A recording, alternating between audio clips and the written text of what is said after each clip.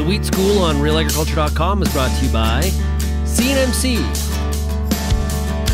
Syngenta Canada, and the Alberta Wheat Commission. Kara Oosterhuis here with realagriculture.com. I am back here today with another Wheat School episode, and I have here with me Jeremy Boychyn, who's an agronomy research extension specialist with Alberta Wheat and Barley Commissions. How's it going today? It's going great, Kara. We're in a wheat field and we're talking wheat. Absolutely. So, we are here today to talk about wheat streak mosaic. Now, there have been reports across southern Alberta, a couple reports of uh, the, seeing the disease pop up. Do you want to talk a bit about it?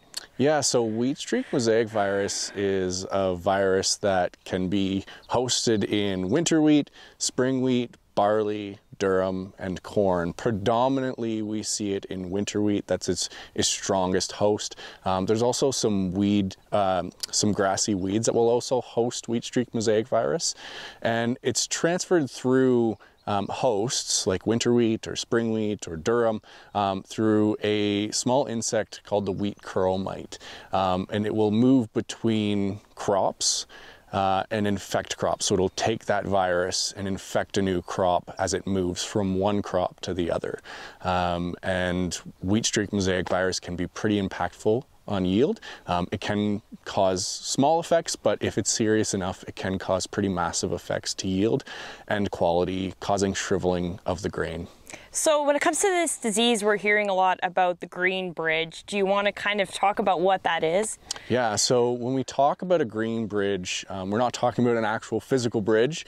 Um, we're talking about kind of a hypothetical bridge that diseases and insects can move from one crop to another or from one season to another. Um, and essentially, what what we're talking about with a green bridge is um, a, a piece of green material like a weed or a crop that can host the disease um, and overlaps between crops. So if we put spring wheat in the ground and through the season that gets infected with wheat curl mite, um, and then before that spring wheat crop is dried down, we seed a winter wheat crop and it emerges.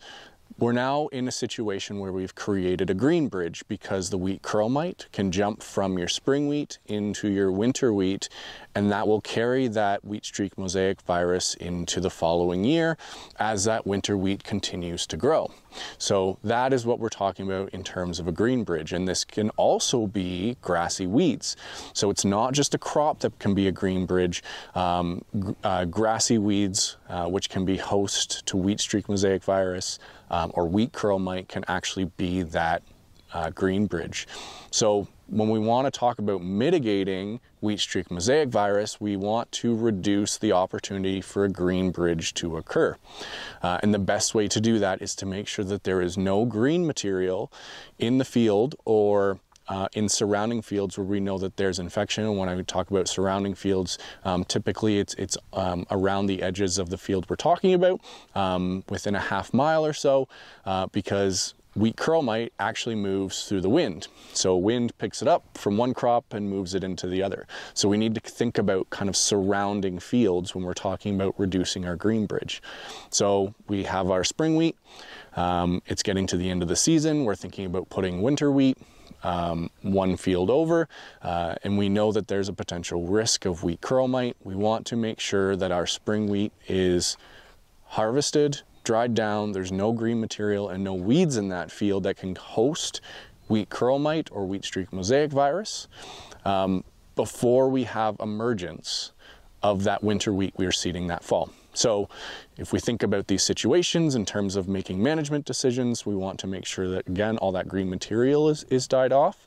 Um, but we're also thinking about when we're actually seeding our winter wheat, because if we're targeting those very early seeding dates or earlier than recommended, there's an, uh, an increased opportunity for the wheat curl mite to use that green bridge uh, to transfer to your winter wheat crop. And then if that happens, we go through the winter. That that winter wheat crop starts growing again in the spring. We seed our spring wheat crop, uh, and then we've created another green bridge there because if we seed another spring wheat crop or, or durum crop um, next door to that winter wheat, um, and the wind blows the wheat curl mite, we can transfer that over, and then the cycle continues.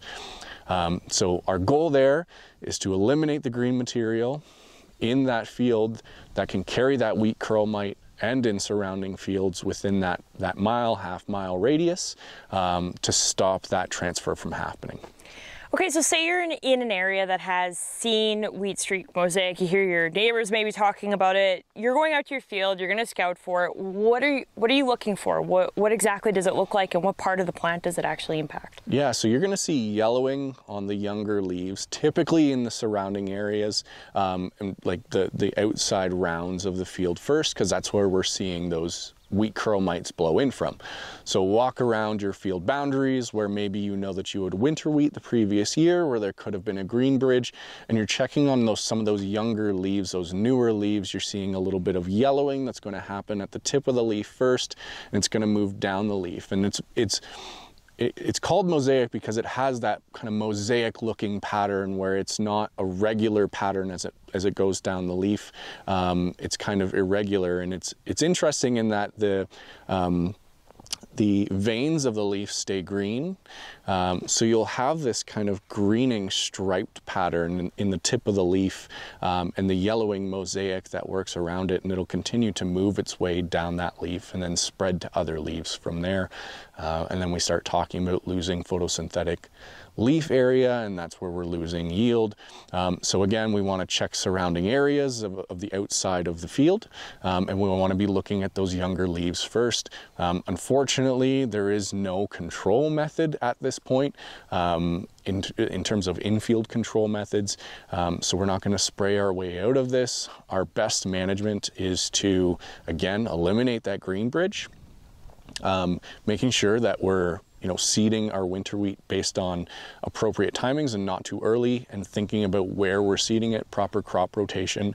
We're not doing wheat on wheat. We're not doing wheat followed by winter wheat and, and really, you know, pushing the boundaries of those rotations and green bridges. Um, and we're also selecting winter wheat varieties if we know we're at risk of wheat curl mite and wheat streak mosaic virus. We're picking varieties that are resistant to wheat curl mite. So Radiant and Elevate Elevate are the two varieties um, that are currently resistant to wheat curl mite. Um, so if you know you're at risk, uh, those are options to choose to help kind of break that cycle.